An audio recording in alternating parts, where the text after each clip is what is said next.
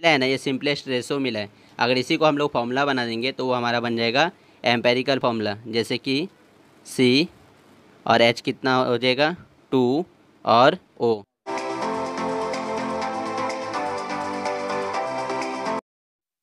hello friends welcome to our channel maths वाला Suraj Mahato and today we have brought another lecture of chemistry for you and today we are going to study empirical formula and molecular formula. In the last lecture, we have studied about percentage composition we are also going to use that but first we will start with empirical formula so first we will see its definition it is defined as the formula which gives simple whole number ratio of atom of various element present in one molecule of compound means अगर हम लोग समझने की कोशिश करें तो इसमें ऐसा बोल रहा है कि कोई भी एक फार्मूला जो कि हम लोग को सिंपल होल नंबर रेशो देता है कोई भी कंपाउंड मतलब कितने सारे एलिमेंट वो कंपाउंड में प्रेजेंट है उसमें तो अगर हम लोग अभी यहाँ पे एग्जांपल लेंगे तो वो आपको ज़्यादा अच्छे से समझेगा क्योंकि एम्पेरिकल फॉर्मूला डेफिनेशन में से इतनी अच्छे से नहीं समझता है। तो अभी मैं एग्जांपल लेता हूँ।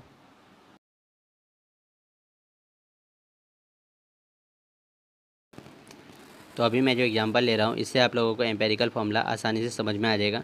जैसे मैं ग्लूकोज का मॉलिक्यूल लेता तो ग्लूकोज मॉलिक्यूल के जो मॉलिकुलर फार्मूला होता है तो वो मॉलिक्यूल का कंपाउंड का होता है C six H twelve O six. O six. तो यहाँ पे अगर हम लोग कार्बन का और हाइड्रोजन का और ऑक्सीजन का जो रेशो देखेंगे तो वो है six is two, twelve is two, six. तो अगर हम लोग को इसको सिंपलेस्ट फॉर्म में करना होगा तो जैसे कि मैथ्स में हम लोग रेसो को क्या करते हैं सिंपलेस्ट फॉर्म में तो ये पूरे सिक्स के टेबल में जा रहे तो मैं सिक्स से सबको डिवाइड कर दूँगा तो क्या हो जाएगा सिक्स वन जा सिक्स सिक्स टू जा ट्वेल्व और सिक्स वन जा सिक्स। तो अगर हम लोग को जो ये रेसो मिला है ना, ये सिंपलेस्ट रेसो मिला है, अगर इसी को हम लोग फॉर्मूला बना देंगे तो वो हमारा बन जाएगा एम्पेरिकल फॉर्मूला जैसे कि सी और एच कितना हो जाएगा? टू और ओ तो ये जो हम लोग का सी एच टू और ओ ये जो है, यही होता है एम्पेरिकल फार्मूला अगर मैं एक और कंपाउंड लूँ, जैसे कि बहुत बार क्या होता है ना कि एम्पेरिकल फार्मूला और मोलिकुलर फार्मूला सेम ही हो जाता है तो वो कैसे? जैसे कि मैं यहाँ पे अगर सी एच फोर लूँ तो यहाँ पे कार्बन का जो रेसो है, वन है और हाइड्रोजन का फोर है। तो वन फोर का जो सिंपलेस्ट रेसो होगा, वो भी वन इज़ टू फोर ही होगा। तो इसका जो एम्पेरिकल फॉर्मूला होगा, वो सी एच फोर ही होगा। तो आई होप आपको एम्पेरिकल फॉर्मूला समझा। तो अभी जो हम लोग पढ़ेंगे, इसके बाद वो होगा मॉलिकुलर फार्मूला तो मॉलिकुलर फार्मूला का अगर हम लोग डेफिनेशन देखेंगे तो डेफिनेशन कुछ ऐसा दिया है the formula which gives actual number of atom of various element present in one molecule of compound मतलब जो फॉर्मूला होगा ना, उसमें जो जितने कंपाउंड एक कंपाउंड में जितने भी नंबर ऑफ़ एटम प्रेजेंट होंगे, वो एक्चुअल फिगर हम लोगों को दिया होगा। जैसे कि पिछला एग्जांपल मैंने लिया था तो उसमें क्या ग्लूकोज का था ना, जैसे C six H twelve O six तो वो एक्चुअल नंबर ऑफ़ फिगर है। अभी मैं और कुछ एग्ज़ाम्पल लेता तो आपको अच्छे से समझेगा।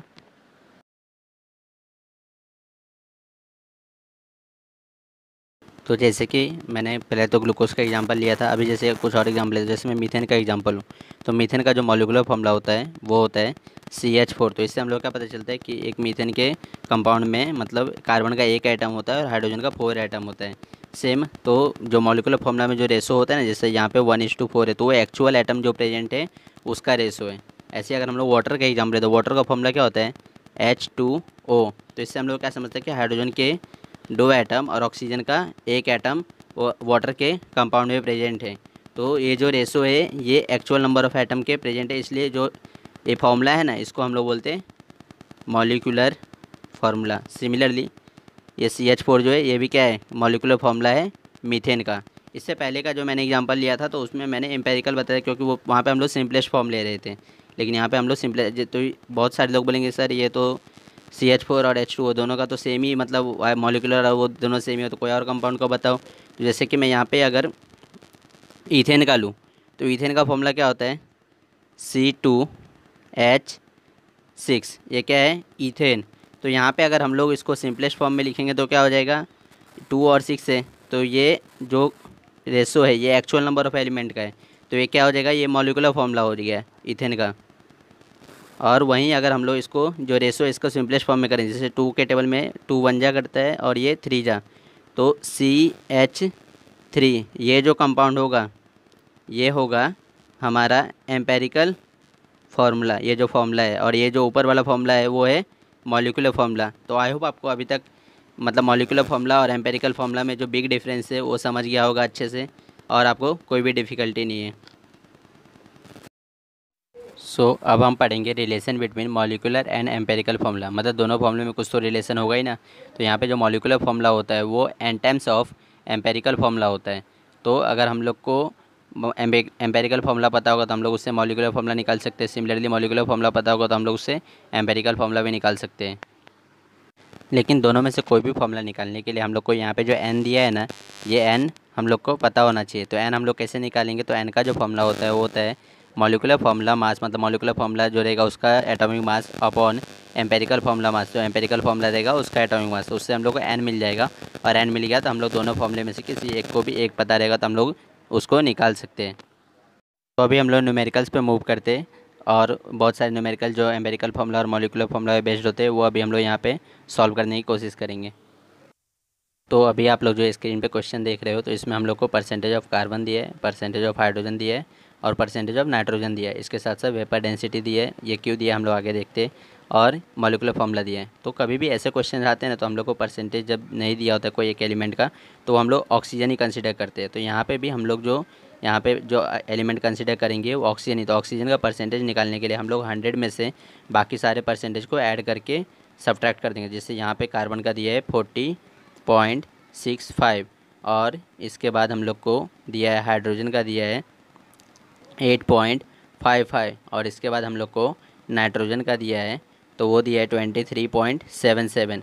तो अभी हम लोग इसको यहाँ पे ऐड करेंगे तो क्या होगा ये हंड्रेड माइनस और सेवन फाइव ट्वेल्व और फाइव सेवेंटीन का हो जाएगा यहाँ पे सेवन कैरी वन, फिर सेवन फाइव ट्वेल्व और सिक्स ए एटीन और कितना नाइनटीन नाइनटीन का nine carry one, eight three eleven one twelve का टू कैरी वन, फिर फोर टू सिक्स वन कितना हो जाएगा? सेवन। तो यहाँ पे हम लोग hundred minus seventy two point nine two. अगर यहाँ पे हम लोग को थोड़ा सा लिखने में मतलब प्रॉब्लम हो रहा है तो हम लोग इसको नीचे लिख लेते तो hundred minus seventy two point nine seven. जब हम लोग इसको माइनस करेंगे तो जो हम लोग को यहाँ पे आंसर आएगा, वो आएगा twenty seven point zero three. तो हम लोग को यहाँ पे ऑक्सीजन का परसेंटेज मिल गया। वो कितना मिला? Twenty seven point zero three. तो अभी यहाँ पे ऑक्सीजन के परसेंटेज मिलने के बाद हम लोग सभी एटम जो भी एटम हम लोग को दिया होगा ना, उसको हम लोग एटॉमिक रेसो निकालेंगे। तो कैसे निकालेंगे? तो अभी हम लोग उसको देखते हैं। तो मैं यहाँ पे पहले लिखने के लिए पेंसिल का ये कंसिडर करता हूँ। तो तो यहाँ पे अभी हम लोग देखते हैं इसको आगे कैसे करेंगे। तो एटॉमिक रेसो हम लोग कोई भी एटम का कैसे निकलता है तो सबसे पहले हम लोग कार्बन का निकालेंगे। तो एटॉमिक रेशो निकालने के लिए ना, हम लोग उसको, जो परसेंटेज हम लोग को दिया होता है, उसको उसके एटॉमिक मास से डिवाइड करते हैं। तो कार्बन का जो परसेंटेज दिया है, वो हम लोग को दिया है फोर्टी पॉइंट सिक्स फाइव और इसका एटॉमिक मास होता है ट्वेल्व तो जब हम लोग इसको डिवाइड करेंगे तो हम लोग को आंसर जो आएगा, वो आएगा थ्री पॉइंट थ्री एट और इसी के साथ फिर हम लोग हाइड्रोजन का यहाँ पे निकालेंगे। तो हाइड्रोजन का कितना परसेंट दिया एट पॉइंट फाइव है। उसका एटॉमिक मास कितना होता है? वन तो ये कितना आएगा? एट पॉइंट फाइव फाइव ही आएगा। इसके बाद हम लोग नाइट्रोजन का देखेंगे। तो नाइट्रोजन का जो हम लोग को परसेंटेज दिया है, वो दिया है twenty three point seven two तो उसको हम लोग जब नाइट्रोजन का जो टॉमिक वेट होता है फोर्टीन उससे डिवाइड करेंगे तो आंसर आएगा वन पॉइंट सिक्स नाइन इसके बाद हम लोग यहाँ पे ऑक्सीजन का देखेंगे। तो ऑक्सीजन का जो हम लोग को दिए मतलब मिला है, वो मिला है twenty seven point zero three इसको हम लोग जब सिक्सटीन से डिवाइड करेंगे तो इसका जो भी आता है atomic ratio one point six nine आता है। तो यहाँ पे कार्बन का एटॉमिक रेसो हम लोग को कितना मिला? Three point three six, hydrogen का eight point five five, nitrogen one point six nine और यहाँ पे मिला ऑक्सीजन का वन पॉइंट सिक्स नाइन। तो ये जो इसमें जो सबसे छोटा होता है ना, जैसे यहाँ पे क्या है, वन पॉइंट सिक्स नाइन तो इसको हम लोग यूज़ करेंगे सिंपलेस्ट रेशो फाइंड करने के लिए। अभी सिंपलेट, सिंपलेस्ट रेसो कैसे फाइंड करते हैं तो उसको हम लोग अभी यहाँ पे देखते हैं। तो सिंपलेस्ट रेशो के लिए जो भी हम लोग को एटॉमिक रेसो रहेगा, सभी को हम लोग जो सबसे स्मॉल वाला हम लोगों ने कंसिडर किया था ना वन पॉइंट सिक्स नाइन उससे हम लोग डिवाइड करेंगे। तो जैसे कार्बन का सिंपलेस्ट रेशो के लिए हम लोग को डिवाइड करना पड़ेगा थ्री पॉइंट थ्री एट को वन पॉइंट सिक्स नाइन से। जब हम लोग इसको डिवाइड करते हैं तो अप्रोक्सीमेटली जो आंसर आता है वो होता है टू इसका हाइड्रोजन के लिए एट पॉइंट फाइव फाइव को हम लोग डिवाइड करेंगे वन पॉइंट सिक्स नाइन से। तो यहाँ पे जो आंसर आता है, वो अप्रोक्सीमेटली आता है, वो आता है फाइव इसके बाद हम लोग नाइट्रोजन का देखेंगे तो नाइट्रोजन का कितना मिला था? One point six nine. तो वन पॉइंट सिक्स नाइन, ये हम लोगों ने गलती से यहाँ पे लिख दिया है तो ये रॉन्ग है, क्योंकि हम लोग को जो नाइट्रोजन का मिला था, वो वन पॉइंट सिक्स नाइन मिला था। तो अभी इसको हम लोग कट करके वापस से लिखते हैं। तो यहाँ पे जो नाइट्रोजन का हम लोग लिखेंगे तो वो क्या लिखेंगे? One point six nine upon one point six nine. तो ये कितना आएगा? वन। अभी नाइट्रोजन के बाद हम लोग ऑक्सीजन का निकालेंगे। तो ऑक्सीजन के लिए हम लोग को वन पॉइंट सिक्स नाइन यहाँ पर भी तो इसका जो एटॉमिक सिंपलेस्ट रेसो निकलेगा वो कितना निकलेगा? वन। अभी यहाँ पे कार्बन का कितना टू एलिमेंट हाइड्रोजन का फाइव है नाइट्रोजन का वन है और ऑक्सीजन का भी वन है। तो इससे हम लोग इसका एम्पेरिकल फॉर्मूला लिख सकते हैं, जैसे C two H five N और ओ क्योंकि एम्पेरिकल फॉर्मूला में सिंपलेस्ट रेसो तो ये होता है। तो यहाँ पे क्या आ जाएगा? ओ तो C two H five N और ओ ये जो हम लोग को मिला है फार्मूला ये हम लोग को एम्पेरिकल फार्मूला मिला है।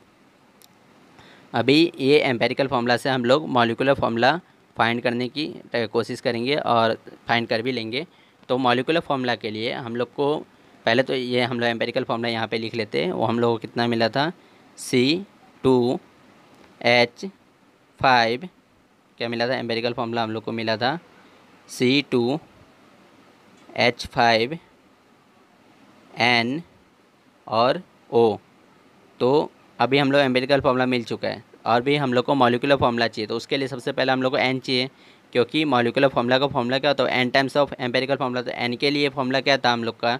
एन के लिए जो हमारा फॉर्मूला था, वो था एम्पेरिकल फॉर्मूला मॉलिकुलर फॉर्मूला का मास अपॉन एम्पेरिकल फॉर्मूला का मास तो उसके लिए हम लोग एम्पेरिकल फॉर्मूला का मास निकाल लेते हैं। तो क्या हो जाएगा? एक कार्बन का होता है ट्वेल्व तो ट्वेल्व इंटू टू और एक हाइड्रोजन का होता है वन तो वन इंटू फाइव क्योंकि फाइव हाइड्रोजन है और नाइट्रोजन का फोर्टीन इंटू वन क्योंकि एक ही नाइट्रोजन है और ऑक्सीजन का सिक्सटीन इंटू वन क्योंकि एक ही ऑक्सीजन है।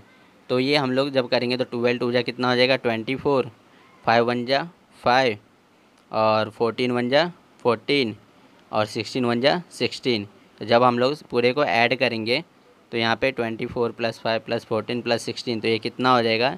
इसका आंसर जो हो जाएगा, वो हो जाएगा फिफ्टी नाइन तो हम लोग को एम्पेरिकल फॉर्मूला मास कितना मिला? फिफ्टी नाइन अभी हम लोग को क्या चाहिए? मॉलिकुलर फॉर्मूला मास ताकि हम लोग उससे एन निकाल सकें। तो अभी हम लोग क्या निकालेंगे? एन वो कैसे?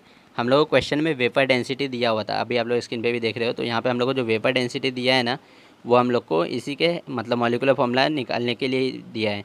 और किसी को पता नहीं होगा, जैसे वेपर डेंसिटी होता क्या तो मॉलिकुलर फॉर्मूला का जो formula two in two times of vapour density होता है मॉलिकुलर फॉर्मूला का मास तो two times of vapour density हम लोग को यहाँ पे कितना दिया है? हम लोग को वेपर डेंसिटी यहाँ पे दिया है ट्वेंटी नाइन पॉइंट फाइव तो जब हम लोग इसको टू से मल्टीप्लाई करेंगे तो हम लोग को जो आंसर मिलेगा वो कितना मिलेगा? फिफ्टी नाइन तो हम लोग को मॉलिकुलर फार्मूला मास कितना मिला? Fifty nine empirical formula mass वो भी हम लोग को कितना मिला था?